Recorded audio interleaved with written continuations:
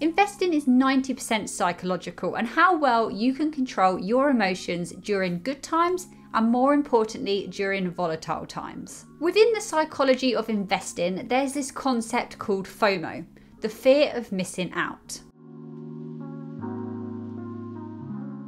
FOMO is the feeling that you get when you're really anxious and you're really panicking about missing out on something and the implications of doing so. FOMO is present all of the time, but I would say it's probably at an all time high right now with the likes of social media and how people are able to curate and display their lives in a particular way. It's easy to see other people's investments again via social media and to start getting a little bit anxious because maybe your investments aren't doing as well as other people's, or perhaps you just have completely different holdings in your investment portfolio. By all means, I think we should learn from others, and I think it's a positive thing to be able to see how other people are investing via social media.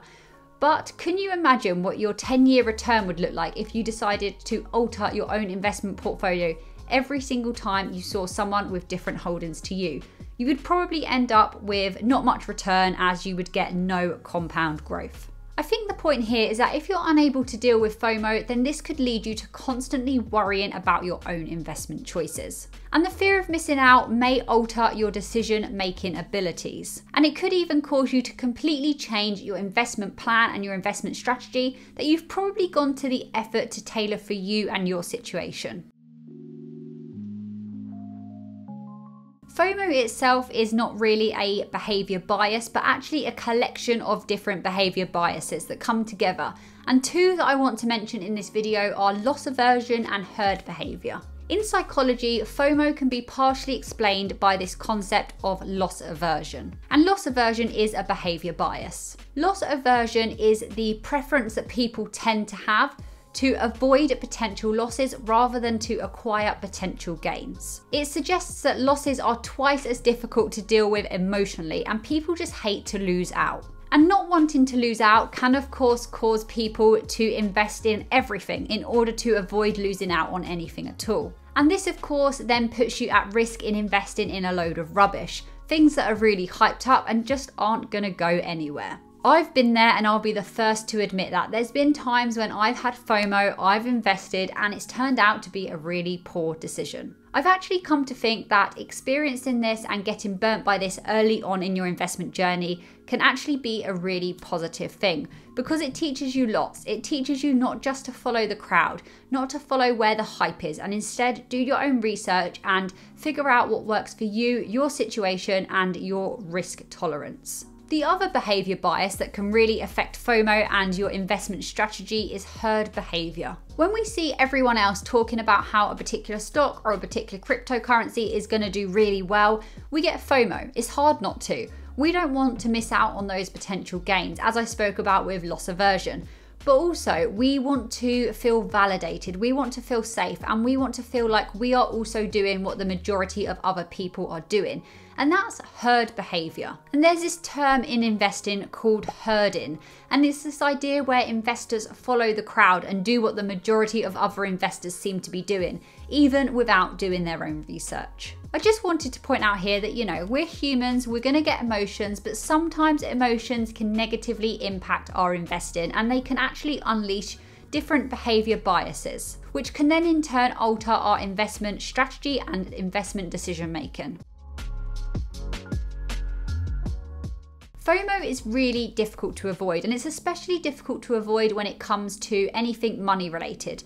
Money is a really sensitive topic, and no one wants to miss out on the chance to gain lots and lots of money and improve their life, especially if they're not in a great financial position to begin with. The problem with succumbing to FOMO is that it can drag investors into the market at the wrong time not always, but quite often. This is because if you're hearing that you need to invest in X, Y, and Z in order to 100 times your money, then chances are that there's already a bubble there and it's too late. Giving in to FOMO could cause you to put your money into a stock that's already had its rally. It's gone up in price, you invest here instead of here, and you end up just losing money as the value returns to a a sensible level. You know, it's become overvalued because of FOMO, it's gone up and up and up. You invest at the top, and then it has to come down because it's going to go to a normal valuation.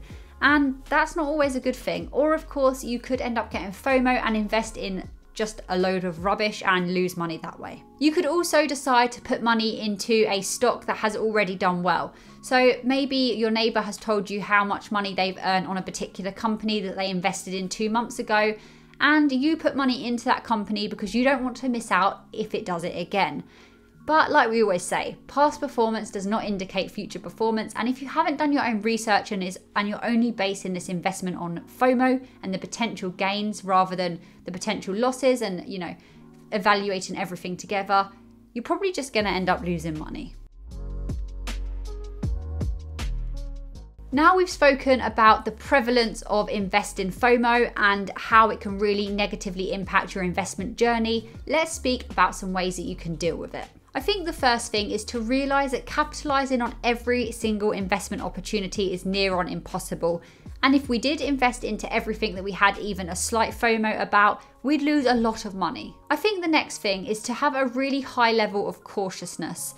If something seems too good to be true, it probably is. If everyone's telling you that you can easily get rich quick and make loads of money overnight doing this or that, you probably can't, otherwise, everyone would be a millionaire. And like I said earlier, if you get in FOMO about how someone has already earned money with a particular stock or a particular investment, the time has probably already been and gone. Spend your time looking for the next investment or looking at how you can get reliable returns on particular ETFs or index funds rather than putting your money into something that it's just not going anywhere anymore. A really important way to deal with FOMO in investing is to actually have a strategy in place. Having a strategy in place is a great way to have a systematic approach to investing and it will help dampen any fear and regret. This is a really good way to reduce your chances of actually experiencing FOMO because you will know what you're investing in ahead of time. And you may find it easier to ignore any temptation if you know it doesn't actually align and fit in with your own plan and investment strategy. The last one, and the big one for me, is to avoid feeling time pressured. When it comes to experiencing FOMO in investing, it's really easy to get this time pressure feeling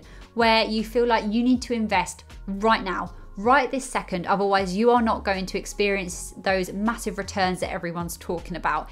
It feels very, very time sensitive, but actually, the likelihood is, is that if you wait a couple of days, a couple of weeks, even a couple of months, it won't make much difference at all. And this will just allow you some time to do your own research and, you know, try and set your emotions back and think about whether this is actually right for you. Whenever I experience FOMO in my own investing, I always try to remind myself that I'm a long term investor.